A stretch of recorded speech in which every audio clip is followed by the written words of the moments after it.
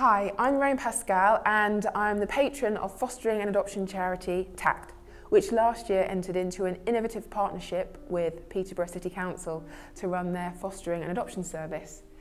There are currently hundreds of children and young people in Peterborough who need and deserve loving, safe and stable homes, but there are simply not enough families available to accommodate them. I'm therefore appealing for more people in Peterborough to consider caring for the community's most vulnerable children by fostering with TACT Peterborough. As someone who has been fostered, I know only too well the issues faced by children in care. And as TACT's patron, I've learned that becoming a foster carer will provide you a unique challenge that brings rewards like no other role does.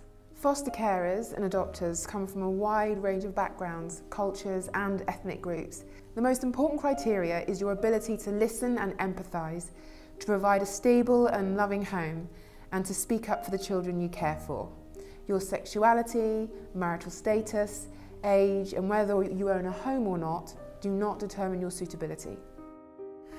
So please give serious consideration to opening your home to a Peterborough child and help them to grow and flourish, giving them the best possible start in life.